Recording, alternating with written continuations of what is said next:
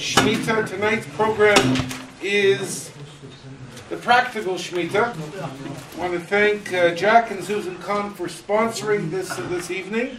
And uh, the arts, uh, I am Susan's mother, Gittel Tolabas Spido, Shom Having Aliyah. I remember uh, your mother really well. It's, uh, it's really an honor to be able to uh, sponsor, having sponsor this program in her name.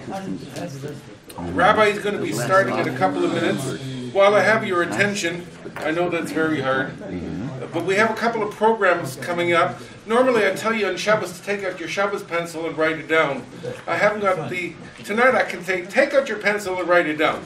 So in, in next week Sunday, we're having a breakfast program with uh, Professor Daniel Francis, a former member of ours.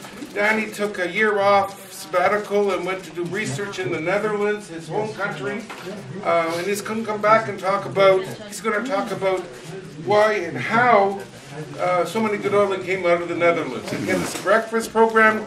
That's not this Sunday, the following Sunday. Um, on January 31st, there will be a social program. It's called the Israeli Night. Um, you'll see more and more details of it. In fact, it may something in the bulletin. So uh, again, that's that's um, Motzoi Shabbos, January 31st.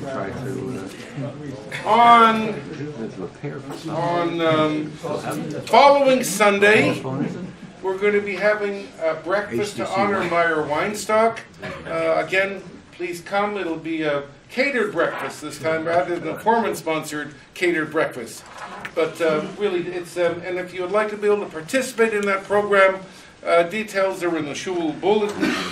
And then the following Wednesday, we're pleased to be able to present Rabbi Turchiner, who's going to be speaking on a program of medical ethics and how you balance halacha and medicine.